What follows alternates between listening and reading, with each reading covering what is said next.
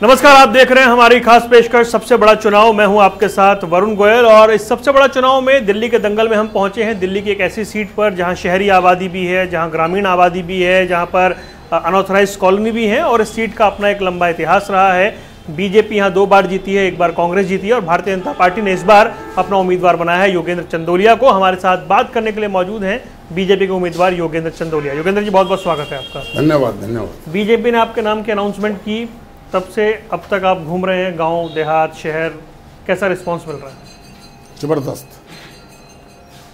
ज़बरदस्त जिसे कहते हैं। एक तरफा माहौल है। लोग जहाँ जा रहा हूँ 400 पार तीसरी बार मोदी सरकार। आपका सातवां चुनाव है ये।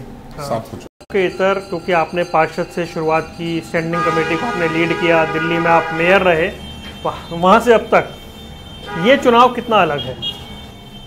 ये चुनाव एक लोकतंत्र में चुनाव की व्यवस्था है। पाँच साल में चुनाव होता है। ये चुनाव बिल्कुल अलग है। लोगों ने मन बनाया हुआ है देश के प्रधानमंत्री को तीसरी बार प्रधानमंत्री बनाना है। मोदी ने जो काम किए हैं देश के लिए इंफ्रास्ट्रक्चर मज़बूत किया है। और ये जैसा आपने कहा, ग्रामीण पृष्ठभूमि है, यहाँ पर शहरीकृत गाँव भी हैं, यहाँ पर सोसाइटीज़ भी हैं, यहाँ पर गरीब लोग भी रहते हैं झुग्गी झोपड़ी क्लस्टर भी है। मुझे ऐसा लगता है कि ये भारतीय जनता पार्टी का यह लोकसभा क्षेत्र बहुत बड़ी जीत से हम जीतेंगे, क्योंकि नरेंद्र मोदी जी की जहाँ गारंटी है, उसके बाद जब जनता स्वयं आकर बोलना शुरू कर दे कि इस बार मोदी सरकार तो मुझे लगता है कि हमारे अपोजिशन से तो कोई, हमारा कोई विषय ही नहीं है। वो आपस में दो लड़ रहे हैं, तीन लड़ रहे हैं कब घोषित करेंगे? तो अभी तो मुझे नहीं लगता कि कोई चुनौती हमारे सामने है। नरेंद्र मोदी जी के नेतृत्व में हंड्रेड परसेंट दिल्ली की सातों सीटें और वो भी मार्जिन जो है, पिछली बार यहाँ का मार्जिन पाँच लाख इकसठ हज़ार था। और हमारी पार्टी ने जो संकल्प लिया हुआ है दिल्ली की जनता का देखते हुए कि हर सीट पाँच लाख से ज़्यादा वोटों से हम जीतने वाले हैं। देश की कुछ चुनिंदा सीटें, जहाँ पे हाईएस्ट मार्जिन रहा था, उसमें से एक सीट ये भी थी। उससे बेहतर स्थिति है या इस बार कांटे का मुकाबला है? मुकाबले नाम की तो कोई चीज़ ही नहीं है। वो मिलकर लड़ लें अलग अलग लड़ लें, अभी तक वो टिकट ही तय नहीं कर पा रहे हैं। इसलिए कोई मुकाबला नहीं है। जनता जब झंडा उठा लेती है किसी पार्टी का तो फिर वो मुकाबले नाम की चीज़ नहीं होती। मैं तो कार्यक्रम में जा रहा हूँ सुंदरकांड का पार्ट है, होली के कार्यक्रम में गया। मैंने ये पटका पहना हुआ है, क्योंकि मेरी पहचान होनी चाहिए। लेकिन लोग तो 400 पार की बात कर रहे हैं। जागरण में बात कर रहे हैं, खाटू श्याम जी की भजन संध्या में 400 की पार कर रहे हैं, व्यास गद्दी पर विराजमान पूज्य संत भी 400 पार कर रहे हैं, मोदी जी की बात कर रहे हैं। तो कांटा वाटे की कोई टक्कर वक्कर नहीं है, एक तरफा चुनाव है पूरी देश का। क्योंकि पिछले चुनाव में 60 परसेंट वोट इस सीट से मिला था, उससे ज़्यादा ही मिला था। लेकिन 2014 में अगर आम आदमी पार्टी और कांग्रेस का वोट जोड़ा जाए तो 50 परसेंट के करीब पहुँच गया था। मिलकर लड़ रहे हैं। कोई सिचुएशन अगर उनका बेस वोट उनको मिलता है तो आपको लगता है कि थोड़ी फाइट वाली स्थिति रहेगी? देखिए, जिस 2014 की बात कर रहे हैं आप तो उस समय केजरीवाल साहब अंदर नहीं थे। आज केजरीवाल साहब चक्की पीस रहे हैं। मनीष सिसोदिया। संजय सिंह बाहर आ गए, इतना खुश हो रहे हैं कि मैं बाहर आ गए। बाहर नहीं आए। सुप्रीम कोर्ट ने बेल दी है। और अभी तो वो कहते थे कि ईडी और ये जो दुरुपयोग हो रहा है, हाई कोर्ट के जज के सामने दिल्ली का मुख्यमंत्री सौरभ भारद्वाज और आतिशी के ऊपर ये आरोप लगाए कि विजय नायर से तो ये मिलते थे। इसका मतलब स्पष्ट है। चोर हैं सारे के सारे लोग। कांग्रेस की स्थिति क्या है? आज कांग्रेस की पूरे देश में बीस सीटें तो बहुत बड़ी बात है। जमाने लद गए। 2014 के परिवर्तन और था। 2014 के बाद 2019 का परिवर्तन था। वो तो 19 में धो दिया हमने। 19 में धो दिया। दोनों मिलकर लड़े थे। 19 के बाद तो भाई साहब आप लोग एमसीडी भी हार गए ना। अब एमसीडी में भी आम आदमी पार्टी नहीं नहीं देखिए एमसीडी में एमसीडी का चुनाव जो था एमसीडी का चुनाव हम पंद्रह साल थे। कहीं ना कहीं एंटी इनकमेंसी रहती है। हम दिल्ली सरकार में नहीं जीत पा रहे लेकिन लोकसभा में छप्पन पॉइंट आठ परसेंट वोट लेना वो और अब देख लीजिए ग्राफ कितने उनका। एमसीडी में कितने परसेंट वोट उनको मिले हैं। जो उनको विधानसभा में जितने परसेंट वोट मिलते हैं क्या एमसीडी में उनको इतने वोट मिले हैं क्या? कोई वोट नहीं मिले उनको। और निश्चित तौर पर हमारा जो टारगेट है पूरी दिल्ली में 10 परसेंट वोट हमने बढ़ाने हैं। छप्पन पॉइंट आठ परसेंट वोट हमारे पहले थे 2019 में और 10 परसेंट वोट बढ़ाकर हम जो है 66 परसेंट वोट से हम जीतने वाले हैं और पाँच पाँच सात सात लाख से जीतने वाले हैं। आज आप मेरी बात को नोट कर लेना और मैं आपको बताना चाहता हूँ कि इनका, इन जो अलायंस हुआ है इनका, आपस में कितना लड़ रहे हैं? ममता किसी को पूछ नहीं रही। राहुल गांधी अपने अलग पिटारा खोल रखा है। कुछ कुल मिलाकर हमारे पच्चीस गारंटी दे रहे राहुल गांधी। कल पाँच नया पच्चीस गारंटी कह रहे थे वो। राहुल गांधी की सुनता कौन है? राहुल गांधी की सुनता देश में एक ही guarantee Narendra Modi. Over confident है बीजेपी नहीं नहीं ओवर कॉन्फिडेंट कैसे है? वही बिल्कुल काम किया है। काम किया है। दस करोड़ लोगों को बहनों को उज्ज्वला के गैस कनेक्शन दिए हैं। का शौचालय बनाए हैं घर घर के अंदर बहनों के लिए। लोगों को मकान दिए हैं। कोविड काल के अंदर हर व्यक्ति को टीका लगाए फ्री में मुफ़्त में ये है लाभार्थी शब्द आज से पहले नहीं होता था। लाभार्थी शब्द नरेंद्र मोदी ने किया है। अस्सी करोड़ लोगों को राशन देते हैं। अति उत्साह की तो कोई बात ही नहीं है इसके अंदर। ये तो रेगुलर चुनाव है। आप राशन दे रहे हैं वो फ्री बिजली दे रहे हैं बस में फ्री ट्रैवल करवा रहे हैं। हाँ ठीक है वो करवाएँ। बसों की हालत क्या होती है? हर चौराहे पे बस खड़ी होती है। और वो उन बसों को देने का काम भी नरेंद्र मोदी जी ने किया है। इलेक्ट्रिक बसें नरेंद्र मोदी जी देते हैं उसमें लिखा हुआ भारत सरकार का मंत्रालय। और चस्पा अपना नाम देते हैं। कुछ नहीं रखा इन्होंने। अब दुनिया लुट चुकी है। केजरीवाल जी ने दिल्ली के साथ धोखा किया है। जल बोर्ड में अट्ठावन हज़ार बयासी हज़ार करोड़ का घोटाला है जल बोर्ड के अंदर। पंद्रह साल दिल्ली की मुख्यमंत्री शीला दीक्षित रही थी। प्रॉफिट में था दिल्ली जल बोर्ड। आज नौ साल में ऐसा क्या होगा बयासी हज़ार करोड़ रुपया? अभी तो राघव चड्डा सौरभ भारद्वाज आतिशी सब अंदर जाएँगे कुल मिलाकर। आप ये कह रहे हैं वो तो कह रहे हैं कि हमें फंसाना चाह रहे हैं। केजरीवाल फंसाना चाह रहे हैं। हाई कोर्ट के जज के सामने अगर कोई व्यक्ति अपनी बात कहे कि विजय नायर से ये मिलते थे तो उन्होंने तो ईडी को बिल्कुल क्लीन चिट दे दी केजरीवाल खुद फंसाना चाहते हैं अपनी पत्नी को मुख्यमंत्री बनाना चाहते हैं इसलिए सबको अंदर जेल में भिजवाएँगे वो जिसका भी नाम लेंगे वो अंदर जाता रहेगा। दस सीटें हैं आपके इसमें उसमें से नौ पे आम आदमी पार्टी का कब्जा है विधानसभा में। हाँ हाँ। लोकसभा में रिफ्लेक्ट नहीं होगा ये? 2019 में क्या हुआ था?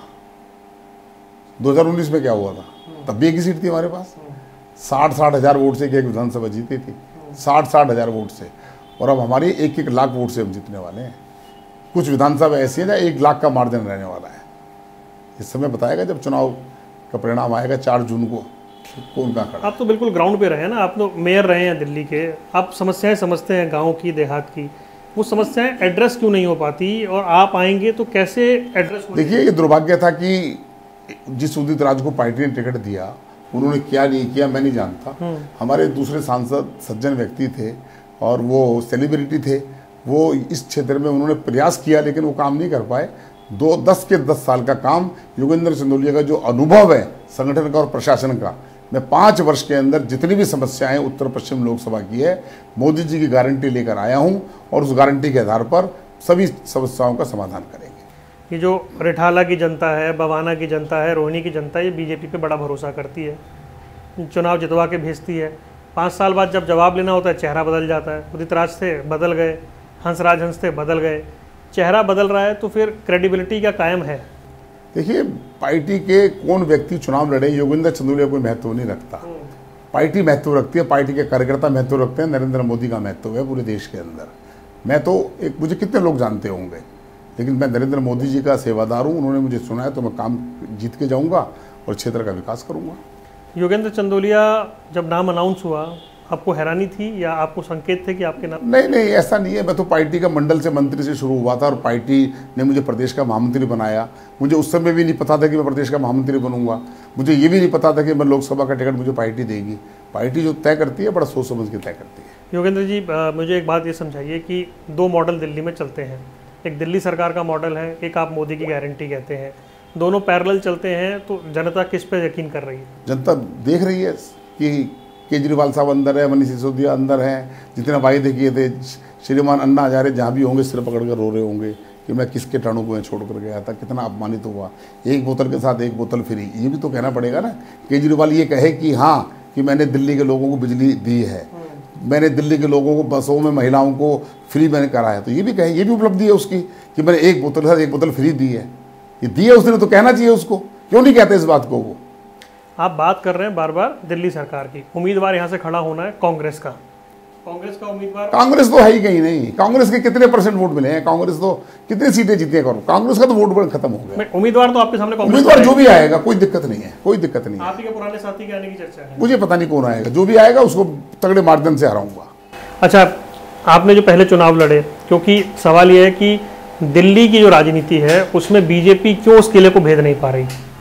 देखिए, अब समय बताएगा 2025 देश का निर्णय करेगा कि बीजेपी 2025 के अंदर जब पार्टी ने हम सारे पदाधिकारियों को, प्रदेश के लोगों को जिन्होंने ज़मीन पर काम किया उनको उतारा है, हम 2025 के अंदर दिल्ली सरकार में हमारी वापसी होगी।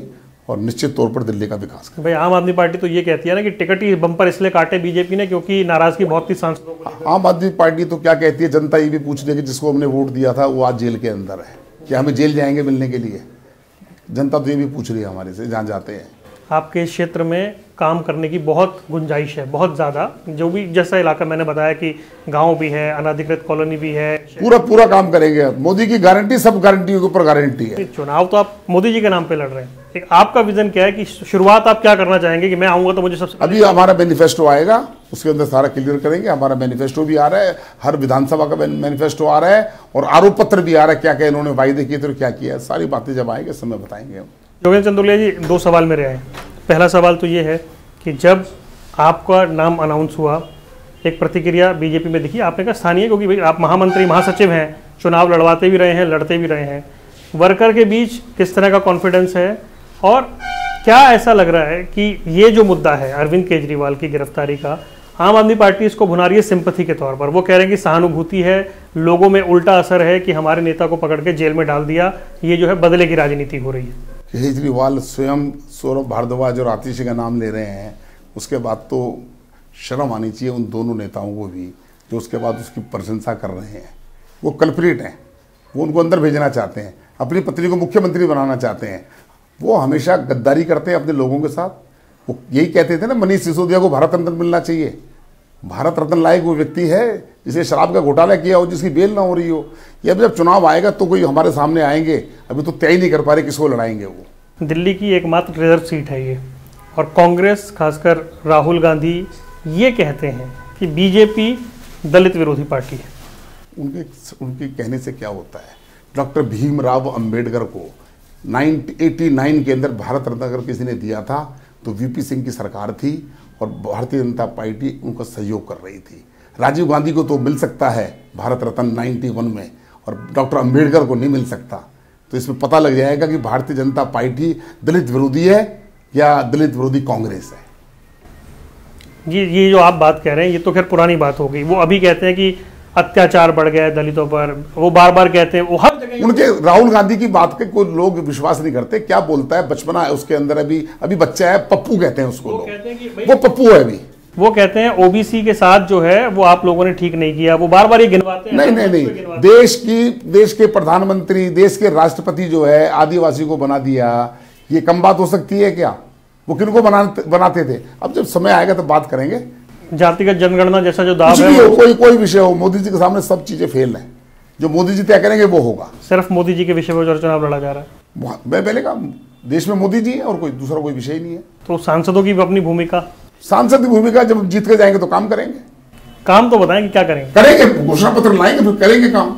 तो ये थे हमारे साथ उत्तर पश्चिमी दिल्ली से योगेंद्र चंदोलिया, भारतीय जनता पार्टी के उम्मीदवार हैं और कॉन्फिडेंट हैं और उत्तर पश्चिमी दिल्ली का अपना एक इतिहास भी रहा है और 25 तारीख को तय हो जाएगा कि क्या कुछ दिल्ली की जनता तय करने वाली है। इस खास पेशकश में इतना ही। दीजिए इजाज़त। नमस्कार।